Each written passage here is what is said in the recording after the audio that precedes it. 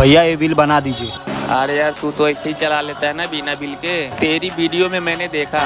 अच्छा ऐसा क्या? अरे हाँ मैं तो ऐसे ही चला लूँगा ना इसकी क्या ज़रूरत है? रखो इसको।